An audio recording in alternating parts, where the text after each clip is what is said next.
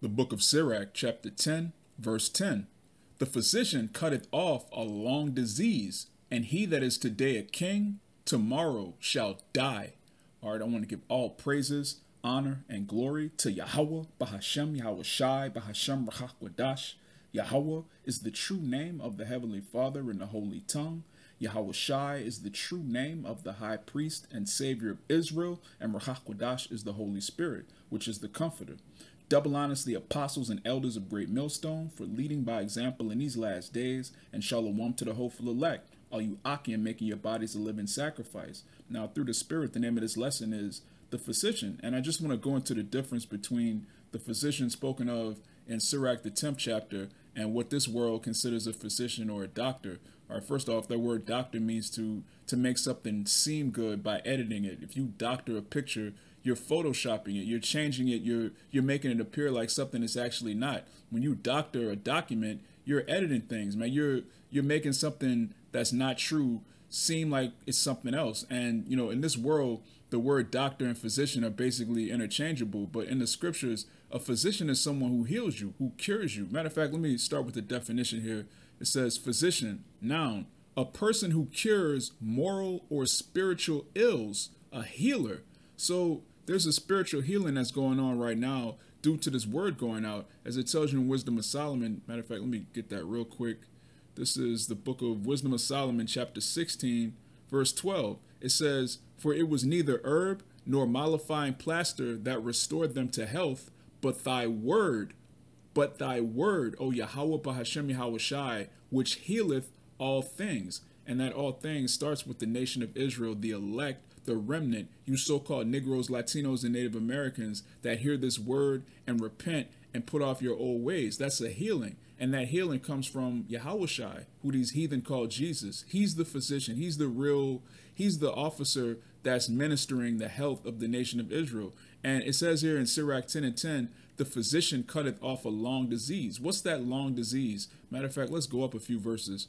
This is, uh, I'll just start at the top, the book of Sirach, chapter 10, verse 1. It says, A wise judge will instruct his people, and the government of a prudent man is well ordered. And we know that government in Isaiah, the ninth chapter, around the sixth verse, it speaks of Yahweh putting the government of the nation of Israel on his shoulders, and he's going to lead and, and rule in righteousness. That's that's the physician in Sirach 10. But it says, verse 2 As the judge of the people is himself, so are his officers. And what manner of man the ruler of the city is, such are all they that dwell therein. Now, what kind of man was Yahawashi? He was austere, he was extremely moral, he he was humble, he was meek. Every work he did, he gave glory and credit to the Heavenly Father. And so in the kingdom of heaven, you're going to have 144,000 men that are like the ruler. Let me read that again. It says, As the judge of the people is himself, so are his officers, and what manner of man the ruler of the city is, such are all they that dwell therein. And right now we have a, a physician of no value who is the ruler of this city, who's the ruler of Babylon the Great. This man sets up so called pharmacies all over the world and when you go into the scriptures, pharmakia is sorcery. Okay, pharmacy is the Greek word for sorcery, witchcraft. This man is a doctor. He makes things appear to be whole, to make things appear to be healthy, but it's nothing but perversion. And this goes into everything from physical, you know, physical health to psychological health, spiritual health. He has doctrines and philosophies that he pushes to the people. Like, look, we're we're here to help you. This is democracy. We're gonna we're gonna help the little guy. Look, this is feminism. We're gonna help women. Look, this is this religion. This is this ideology. We're here to help people. But meanwhile, everything he pushes is contrary to nature, is contrary to common sense, and most importantly, is contrary to the law, statutes, and commandments of the Most High. So if you have a man who's the ruler of a city and he's completely perverse he's wicked he's a doctor he's not actually someone that wants to heal he's someone that wants to nigger rig things and tape things together and make it seem healthy to make it seem right what what manner of per matter of fact let me read it one more time it says as the judge of the people is himself so are his officers and what manner of man the ruler of the city is such are all they that dwell therein. So when you look at the medical industry, when you look at the legal system, you have a bunch of lawyers that are all con men, they're all liars, they're all wicked. You have, you know, the financial institution, which is completely built upon debt. usury, again, lying to people, inflation, stealing money from people in a way that's so sophisticated the average person doesn't even realize they're being robbed in broad daylight. So the man that's ruling is a is a liar. He's a doctor. So Yahushua is that physician. Let's let's keep reading. It says, An unwise king destroyeth his people, but through the prudence of them which are in authority, the city shall be inhabited. And you know, this reminds me of what is it, Proverbs 29, where it speaks about, you know, the righteous, when they're in authority, the people rejoice, but when the wicked beareth rule, the people mourn. Right now, we have an unwise king, and he's destroying his people. We have a doctor, you know, Dr. Frankenstein, Dr., you know, th this man is a, a mad scientist. That's who's in control of the earth right now, a doctor. It says, the power of the earth is in the hand of Yahawah Bahasham Yahweh Shai, and in due time, in due time, he will set over it one that is profitable. And that time is right now, man. We're in the very last stages of Babylon the Great. We're at the end of an empire. We're at the end of a dynasty. We're at the end of this man's kingdom. We're at the end of the time of the Gentiles. That time that Yahushua spoke of is fulfilled right now. And the scripture says, in due time, the Most High will set over it one that is profitable. And that's why it tells you in verse 10, the physician cutteth off a long disease. That long disease is Esau Edom, the self-proclaimed white man, this devil that has took it upon himself to go around the earth telling everyone that he's righteous, he has the way, he's he's the most high basically he's he sits in the seat of the most high and he has all of these heathen including two-thirds of our own people looking to him for solutions to problems that he caused but Yahushua is the actual solution to the nation of Israel. Again, starting with the word going out, and it tells you. Matter of fact, let me get this in uh, in Peter. This is First Peter chapter two, and I'm going to start at verse 21. For even hereunto were ye called, because a Mashiach also suffered for us, leaving us an example that ye should follow his steps. Right. The first thing Yahushua did was he left us an example of how to be a man, how to be a brother, how to be a servant of Yahweh, how to be a, a perfect Israelite. Yahushua left us the template. He's the prototype for a man of the Lord. He's a prototype for a priest. He's a prototype for a king. You know, look how he he didn't uh, rule over the disciples with with rigor and you know just boasting in himself with his chest out being a nigger. He was an actual living embodiment of humility and meekness. He was the the first example again a, a prototype. The word proto means before. He's he's the first the, really the first spirit ever created, but even going deeper than that, he's the first person to master perfection on earth, walking in total righteousness his entire life. No one's ever done that before. So it says, leaving us an example that ye should follow his steps, who did no sin, neither was guile found in his mouth,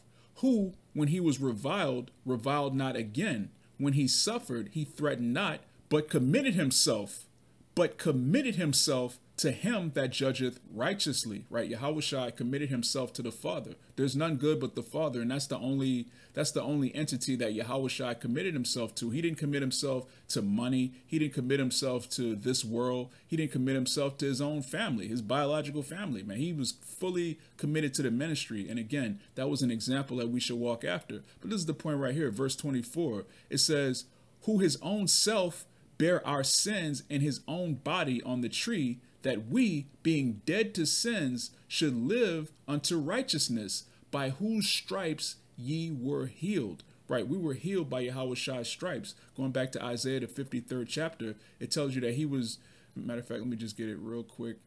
This is the book of Isaiah, chapter 53. I'm going to start at verse 3. It says, He is despised and rejected of men. And this is talking about Yahushua. This is one of the many, many prophecies in the law and the prophets, which these so-called scholars call the Old Testament. It's really the law and the prophets. Yahushua is prophesied all throughout the book. It says, He is despised and rejected of men, a man of sorrows and acquainted with grief. And we hid, as it were, our faces from him. He was despised, and we esteemed him not. And the scripture tells you a prophet is not without honor except in his own house. So you know, really every prophet is going to be despised, especially when you stand boldly and stiffly for the word of Yahawah Bashem Yahawashi and the name Yahawah Bashem Yahawashi. People are going to hate you. But guess what? That word going out again heals the remnant, it heals the elect of the nation of Israel. But this this prophecy is specifically talking about Yahawashi personally. It says, Surely he hath borne our griefs and carried our sorrows, yet we did esteem him stricken, smitten of the Most High, and afflicted But he was wounded for our transgressions, he was bruised for our iniquities. The chastisement of our peace was upon him, and with his stripes we are healed. And we're healed through Yahweh stripes, man. That's very important to keep in mind. This is not a doctor. Yahweh doctrine and his his prophecies and ultimately his sacrifice and resurrection, that's not something that was just done to make it seem like Israel's going to be okay. It's not something that was done to put on a show. It's not something that's just you know, a, a, facade, something that's just like, look, I've, I've doctored this. I've doctored this image. I've doctored this document. This is, no, no, no. This is actually the healing of the nation of Israel. And when Yahweh comes back, we're actually going to be physically changed. We're going to be perfect. We're going to be whole. And that's what, that's what an actual physician does. He heals you. He makes you whole. He makes you perfect and complete. He doesn't let you walk out of the office and then has you addicted to a bunch of drugs with side effects that you have to take other drugs to manage the side effects. That's not a that's not a physician at all. That is a demon, that's a devil, that's a sorcerer. That's a really Esau's Nino Brown, man. Esau is a just a, a pitch black,